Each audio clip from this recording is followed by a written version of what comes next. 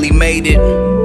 I'm reinvented and invigorated. I step out like I'm dressed for Vegas. We need a business plan, fucking arrangement. Every day I wanna blow up, every day I gotta grow up. Every day I gotta show up to the studio and throw up. Every day I wanna pour up while plotting on getting more bucks. Caught up in the life, just hoping it don't absorb us. Watch who you move with, I don't trust them as far as I can throw them. So the minimal is all that I show them.